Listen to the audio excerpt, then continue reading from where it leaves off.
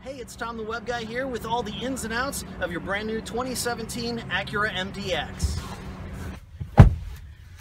Today we're going to change the wallpaper on the top monitor in your two monitor display here in your brand new 2017 MDX. The very first thing you'll need to do is upload any images that you'd like to have on your wallpaper on a USB drive, kind of like this one. After that, you'll plug it into the center console where you have one of three USB connectors. Just pop it in just like that. And here we go. Now, using the controls here in the center, we're going to be controlling the window up on top. All right, so here we go. We're going to go to Settings.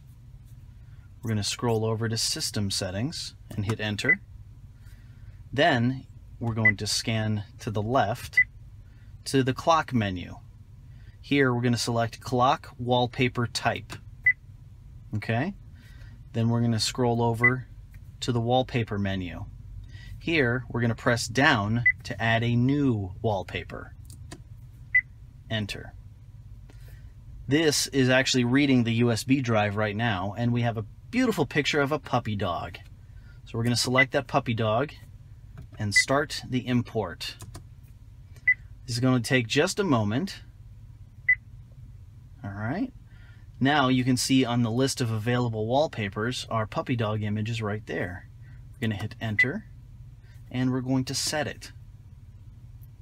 Now to view it, we're going to back out all the way to the main screen. And there we have it. There's our beautiful puppy dog. So cute on our new wallpaper. And that's how you change the wallpaper on your new 2017 MDX.